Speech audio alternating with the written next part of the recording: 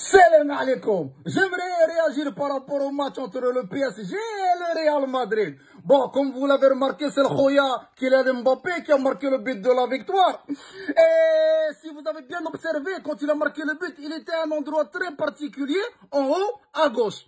Et quand vous prenez la carte de l'Afrique, l'Algérie, elle est située où? Elle est située en haut, à gauche. Ça veut dire quoi? Ça veut dire que son côté algérien qui a marqué le but de la victoire.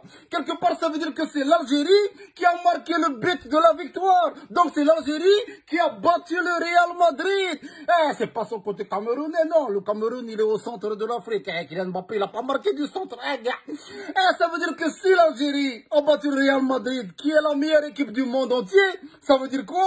Ça veut dire que l'Algérie est la meilleure équipe du monde entier. One, two, three. Vive l'Algérie. One, two, three. Vive l'Algérie.